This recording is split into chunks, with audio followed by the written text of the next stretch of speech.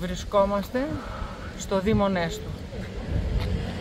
Έχει ξεσπάσει νωρίς το μεσημέρι σήμερα μια πολύ μεγάλη φωτιά, από ό,τι φαίνεται με πάνω από τρεις εστίες σε κατοικημένες περιοχές.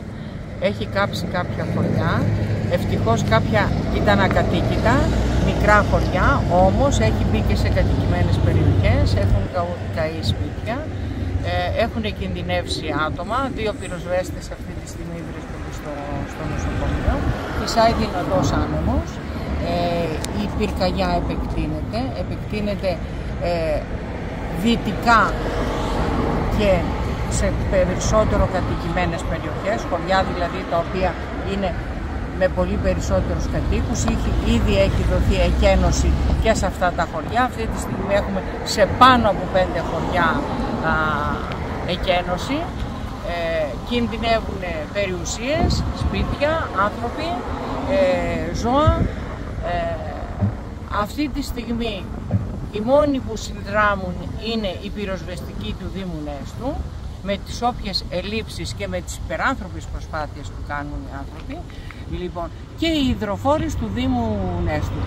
Τώρα πριν από 5 λεπτά ήρθε και το πρώτο πυροσβεστικό αεροπλάνο ε, ενώ η φωτιά έχει ξεσπάσει από τις ε, 1 η ώρα το μεσημέρι. Λοιπόν, η ουσία είναι ότι το κράτος δεν έχει καμία υπάρχει μια παντελής έλλειψη σχεδιασμού και πυροπροστασίας σε όλη την περιοχή και σε όλο το Δήμο Νέστου.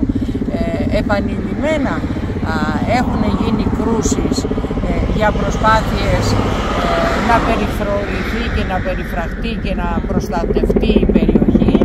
Εμείς σαν κλιμάκιο του ΚΚΕ πήγαμε ε, τουλάχιστον δύο φορές επισκεφτήκαμε την πυροσβεστική του Δήμου, μιλήσαμε με τα